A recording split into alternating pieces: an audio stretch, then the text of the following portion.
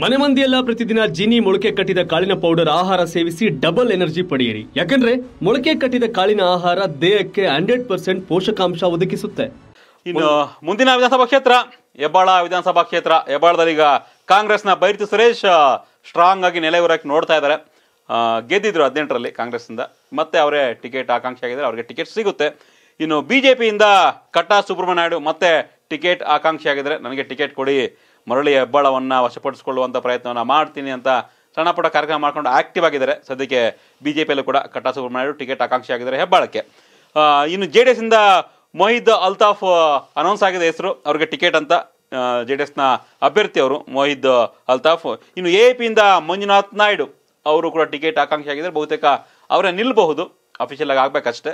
ಬೇ, ಶೀಘ್ರದಲ್ಲೇ ಬಿಡ್ಬೋದು. ಅಲ್ಲಿಗೆ ಇಲ್ಲಿ ಜೆ ಡಿ ಎಸ್ ಕಾಂಗ್ರೆಸ್ ಮತ್ತು ಬಿ ಜೆ ಪಿ ಜೊತೆ ಎ ಪಿ ಕೂಡ ಫೈಟ್ ಕೊಡ್ತಾ ಇದೆ ಹೆಬ್ಬಾಳ ವಿಧಾನಸಭಾ ಕ್ಷೇತ್ರದಲ್ಲಿ. ನಮ್ಮ ಕರ್ನಾಟಕ ಟಿವಿಯ ಡಿಸೆಂಬರ್ ಸರ್ವೆ ಪ್ರಕಾರ ಈ ಕ್ಷಣಕ್ಕೆ ಬೈರ್ತಿ ಸುರೇಶ್ ಮುನ್ನಡೆಯನ್ನು ಕಾಯ್ದುಕೊಂಡಿದ್ದಾರೆ. ಅಂದರೆ ಕಾಂಗ್ರೆಸ್ ಹೆಬ್ಬಾಳದಲ್ಲಿ ಮುನ್ನಡೆಯನ್ನು ಕಾಯ್ದುಕೊಂಡಿದೆ. ಕಟಾ ಸುಬ್ರಹ್ಮಣ್ಯ ಟಿಕೆಟ್ ಕೊಡ್ತಾರಾ ಇಲ್ವಾ ಅನ್ನೋ ಗೊಂದಲ ಇದೆ ಸಣ್ಣದಾಗಿ. ಜೊತೆಗೆ ಜೆ ಡಿ ಎಸ್ನ ಮೊಹಿದ್ ಅಲ್ತಾಫ್ ಇಲ್ಲಿ ಅಭ್ಯರ್ಥಿ ಆಗಿದ್ದಾರೆ. ಶಿವು, ಎ ಪಿ ಮತ್ತು ಜೆ ಡಿ ಎಸ್ ಇಬ್ಬರು ಇಬ್ಬರು ಆಲ್ಮೋಸ್ಟ್ ಫೈನಲ್ ಕ್ಯಾಂಡಿಡೇಟ್ಸು ಸೊ ಅವರ ಒಂದು ಪ್ರಭಾವ ಬೀರ್ಬೋದಾ ಬೈರ್ತಿ ಸುರೇಶ್ ಮತ್ತು ಕಟ್ಟಾ ಮೇಲೆ? ಇಸ್ ಕಟ್ಟಾ ಸುಬ್ರಹ್ಮಣ್ಯ ನಾಡು ಎರಡ್ ಸಾವಿರದ ಎಂಟರಲ್ಲಿ ಸಾವಿರ ಚಿಲ್ಲರೆ ಓಟಲ್ಲಿ ಎಚ್ ಎಂ ರೇವಣ್ಣ ಅಪೋಸಿಟ್ ಗೆದ್ದಿದ್ರು ಕುರುಬ ಸಮುದಾಯದ ಎಚ್ ಎಂ ರೇವಣ್ಣ ಸೋತು ಮನೆಗೆ ಹೋಗಿದ್ರು ಕಟ್ಟಾ ಸುಬ್ರಹ್ಮಣ್ಯ ನಾಡು ಗೆದ್ದಿದ್ರು ಸಾವಿರ ಓಟ್ ಅವತ್ ಮಿನಿಸ್ಟರ್ ಆಗಿದ್ರು ನಂತರ ಅಗಣ್ಣ ಮಾಡ್ಕೊಂಡು ಬಂದ್ರು. ಅದಾದ್ಮೇಲೆ ನೆಕ್ಸ್ಟ್ ಹದಿಮೂರಲ್ಲಿ ಟಿಕೆಟ್ ಕೊಡ್ಲಿಲ್ವಲ್ಲ? ಅವರ ವಿಶೇಷ ಅಧಿಕಾರಿ ಐ ಥಿಂಕ್ ಪಿ ಎಸ್ ಅನ್ಕೋತೀನಿ ಎಸ್ ಜಗದೀಶ್ ಕುಮಾರ್ ಅವ್ರಿಗೆ ಟಿಕೆಟ್ ಕೊಡಿಸಿ ಗೆಲ್ಸಿದ್ರು. ಗೆಲ್ಸಿದ್ರು. ಜಗದೀಶ್ ಕುಮಾರ್ ಬಗ್ಗೆ ಮಾತಾಡ್ಲೇಬೇಕು. ಈ ಮಿನಿಸ್ಟರ್ ಆಗಿಲ್ಲ ಸುರೇಶ್ ಕುಮಾರ್ ರಾಜಾಜಿನಗರ ಅವರೂ ಸಮೇತ ಎಲ್ಲಾ ಪಕ್ಷದವರು ಅವ್ರ ಹತ್ರ ಮಾಹಿತಿ ತಗೋತೀರ. ಆ ಮಟ್ಟಿಗೆ ಶಬ್ದಕೋಶ ಅವರು. Like Wikipedia Jagadish Kumar. ನಮ್ ಟಿವಿ ಡಿಬೇಟ್ಗಳಿಗೂ ಬರೋ ನಮ್ಮ ಆಫೀಸ್ಗಳಿಗೆ. ಬಹಳ ಖುಷಿ ಆಗೋದು. ವಕ್ತಾರರು ಅಂದ್ರೆ ಅರ್ಚ ಅರ್ಚಾಡೋರು ಬರೀ. ಕಿರ್ಚಾಡೋದು ಅರ್ಥ- ವಕ್ತಾರರು ಕೆಲಸ. ಹಂಗ್ ಮಾ ಹಂಗಾಗ್ಬಿಟ್ಟೈತೆ ಕತೆ. ಬಟ್ ವಿಷಯಾಧಾರಿತವಾಗಿ ಮಾತಾಡಿದ್ರೆ ಕುತ್ಕೊಂಡು ಅಪೋಸಿಷನ್ ಕಾಂಗ್ರೆಸ್ ಅವರು ಅಷ್ಟೇ ಜೆ ಡಿ ಎಸ್ ಅವರು ಜನ ಕೇಳೋರು ಇವ್ರ ಮಾತನ್ನ. ಸೆಷನಲ್ಲೂ ಅಷ್ಟೇ ಅವ್ರಿಗೆ ಅಷ್ಟು ಮರ್ಯಾದೆ ಇತ್ತು ಅಷ್ಟೊಂದು ವಿಶೇಷಗಳ ವಿಶೇಷತೆ ಇವ್ರಿಗಿತ್ತು. ಬಟ್ ಅವ್ರು ತೀರ್ಕೊಂಡ್ರು ಬೈ ಅಲ್ಲಿ ಈಗೇನು ಎಂ ಎಲ್ ಸಿ ಇದ್ದಾರೆ ಶಿಕ್ಷಕರ ಕ್ಷೇತ್ರ ಬರೋದು ಕೋಲಾರ ಚಿಕ್ಕಬಳ್ಳಾಪುರ ಸೇರಿದಂಗೆ ಬರ್ತಲ್ಲ ಈ ಭಾಗದ ನಾರಾಯಣ ಸ್ವಾಮಿ ಬಂದಲ್ಲಿ ನಿಂತ್ಕೊಂಡು ಚುನಾವಣೆ ಗೆಲ್ತಾರೆ. ಗೆದ್ದ ಮೇಲೆ ನಂತರ ಸಾರ್ವತ್ರಿಕ ಚುನಾವಣೆಯಲ್ಲಿ ಬೈರತಿ ಬಸವರಾಜ್ ವಿರುದ್ಧ ಸೋಲ್ತಾರೆ. ನಂತರ ಹೋಗಿ ಅವ್ರು ಎಂ ಎಲ್ ಸಿ ಆಗಿ ಸೇರ್ಕೊಬಿಟ್ಟವ್ರಿಗೆ ಇಲ್ಲ ಅವರು ಕೇಳ್ತಾರೆ ಈಗ ಕಟ್ಟ. ಹೆಂಗೆ ಅಂತಂದ್ರೆ ರಾಜಕಾರಣದಲ್ಲಿ ಈಗೆಲ್ಲ ಡಿ ಕೆ ಶಿವಕುಮಾರ್ ಲೂಟಿ ಮಾಡೋರು ಅಂದ್ರೆ ಮತ್ತೆ ಅವ್ರಿಗೆ ಅಧಿಕಾರ ಕೊಡ್ಲಿಲ್ವೇ? ಕೆಪಿಸಿಸಿ ಅಧ್ಯಕ್ಷರು ಮಾಡ್ಲಿಲ್ವೇ?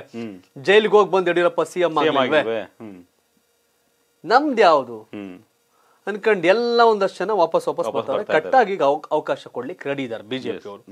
ಬೇರೆ ಯಾರು ಪ್ರಬಲ ಅಲ್ಲಿ ಕಾಣ್ತಾ ಇಲ್ಲ. ಅಲ್ಲಿ ಗೆಲ್ಬೇಕಷ್ಟೇ. ಎಸ್ ಡೆಫಿನೆಟ್ಲಿ ಬಿಜೆಪಿ ಗೆಲ್ಬೇಕು. ಗೆಲ್ಬೇಕು ಗೆಲ್ಲಬೇಕು ಅಂದ್ರೆ ಯಾರು ಬೇಕಾದ್ರೂ ಕೊಡ್ತಾರೆ. ಚಾಮರಾಜಪೇಟೆಗೆ ಸೈಲೆಂಟ್ ಸುನಿಲ್ ಅಂತ ಹೇಳ್ಬಿಟ್ಟು ಸೌಂಡ್ ಮಾಡ್ಲಿಲ್ವಾಗ ಹೌದು. ಚರ್ಚೆ. ಬಟ್ ಇಲ್ಲಿ ಕಟ್ಟಾಗಿ ಹೆಚ್ಚು ಟಿಕೆಟ್ ಕೊಡ್ತಾರೆ. ಆಮೇಲೆ ಆಪ್ ಹೇಳಿದ್ರಿ.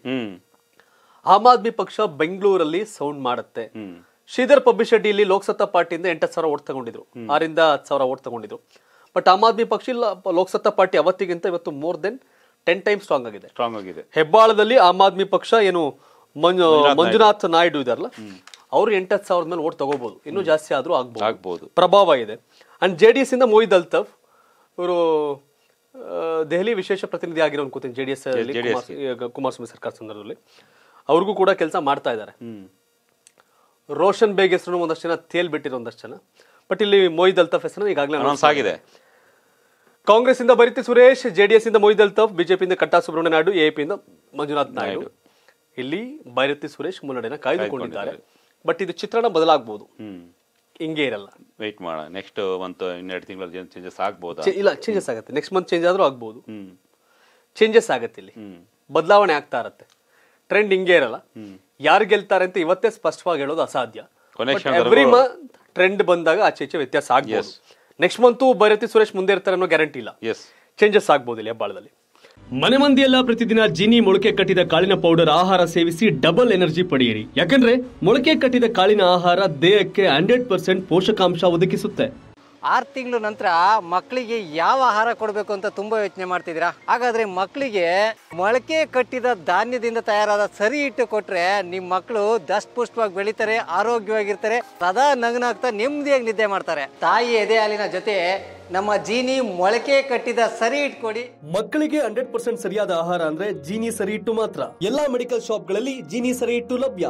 ಅರ್ಧ ಕೆಜಿ ಚಿಕನ್, ಅರ್ಧ ಕೆಜಿ ನಾರ್ಕ್ ಚಟ್ಟಿನಾಡು ಬಿರಿಯಾನಿ ರೈಸ್ ಮಸಾಲಾ ಇದ್ರೆ ಇಪ್ಪತ್ತು ನಿಮಿಷದಲ್ಲಿ ಸೂಪರ್ ಆದ ಬಿರಿಯಾನಿ ರೆಡಿ ಆಗುತ್ತೆ ಈ ಕೂಡಲೇ ಕಾಲ್ ಮಾಡಿ ನಾರ್ಕ್ ಚಟ್ಟಿನಾಡು ಬಿರಿಯಾನಿ ರೈಸ್ ಮಸಾಲಾ ಮನೆ ಬಾಗಿಲಿಗೆ ಡೆಲಿವರಿ ಕೊಡ್ತಾರೆ.